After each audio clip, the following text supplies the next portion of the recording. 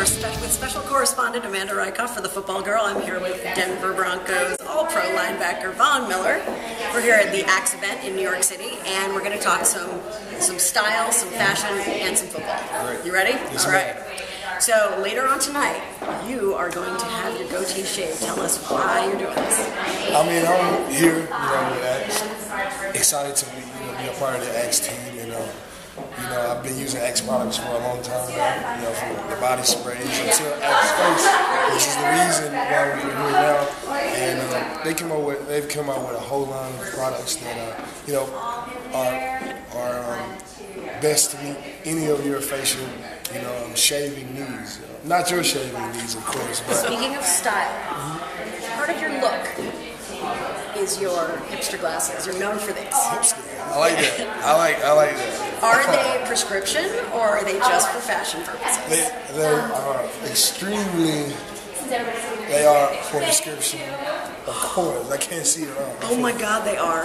I feel like Velma from Scooby Doo right now.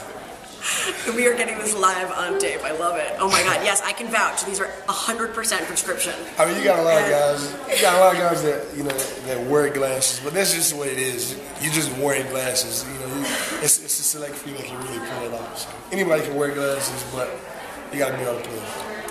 How many pairs do you have? I had 32 before today, and now I just bought like 16 out here in New York. So I got like, you know, 48 pairs of, of glasses and shades. I got some prescription shades too, so they look, you know, pretty.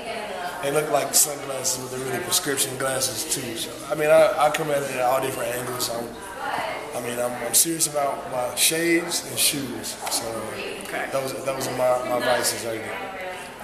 Uh, it has been said that boys don't make passes at girls that wear glasses. What is your take on ladies who wear glasses? I mean, I, I love girls that wear glasses. I mean, I the whole I, I'm a geek, so you know the whole like you know fall in love with like a geek too type you know type you know thing. I'm you know I'm all for that. Um, girls with glasses are attractive to me, smart, you know, intelligent women. That's always attractive, and um, I don't have, I don't have a problem with uh, you know girls wearing glasses at all. Uh, let's move from fashion to football.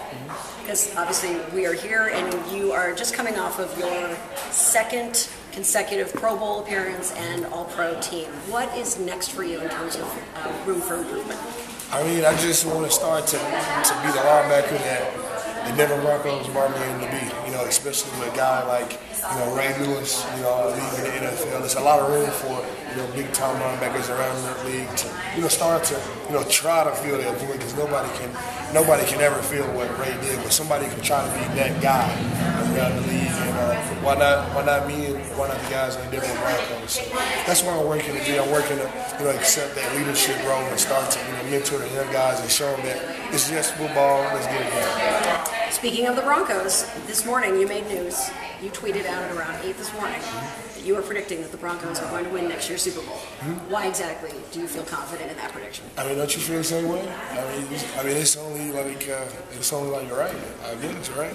Know, but I mean, if you go around the league and you ask, if you ask any, if you ask any guy, well, any sport, you know, period, do you guys think you have a chance of, you know, winning a, you know, championship year? Of course, you know, guys are going to say.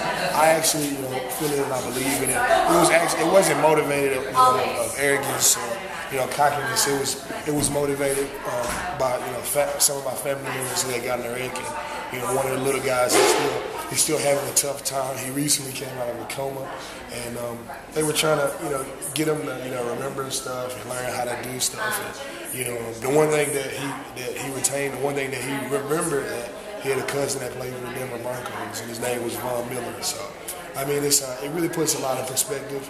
And um, for me, that is my motivation why I can predict it now, and uh, I'm willing to make that commitment to my teammates, to the guys around me, to Jeremiah, and uh, I'm willing to get it done. As long as we're making some predictions, who do you expect to see on the other side of the field out of the NFC next year in New York? The San Francisco 49ers, I mean, they have a, a tough team, you know. You know, the defense is stout. You know, Aldon Smith, is phenomenal over there. You know, Colin Kaepernick, you know, hopefully I can do that, you know, standing, you know, over him, you know, in New York next year. But, you know, we'll have to see, you know, and um, Colin Kaepernick and the 49ers, those guys are great. They've, uh, you know, I'm, I'm, sure they're going to make some home runs in, uh, in free agency in the draft, and we're going to be an even you know tougher team.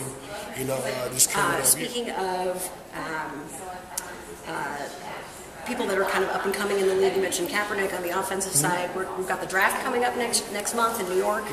Uh, there's been talk of Jarvis Jones out of Georgia being Von Miller-esque. Is there anyone that you've been seeing that is kind of a Von Miller-esque coming out next year? Yeah, I mean Jarvis Jones is expected. He's great. Um, I think Damontre Moore from Texas A&M, he, he would be a, a, a, beast in the league also. I mean, I'm a little bit biased, yeah. But Damontre, he's great. I mean, there's no other game film that that looks like Damontre's. Um, you know, to get out the, the pass rusher, you know, side of things. I think, uh, you know, Kenny Vaccaro and um, Tyrann Mathieu, whatever teams that those guys, I, I, hope, you know, I get a chance to play with those guys in the Broncos. But uh, you're known for your your, your sacks and your post sack dances.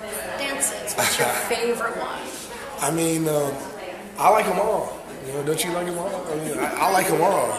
But, uh, you know, it have to be the uh, dance for my foundation. Uh, vision. I actually uh, came up with a sack dance that uh, that pays the foundation a thousand dollars every time I do it. It's the DeSoto Shuffle, so that's why you guys saw me do it so many times. Can you demonstrate? It's just it's just the cross. It's just the it's just the cross.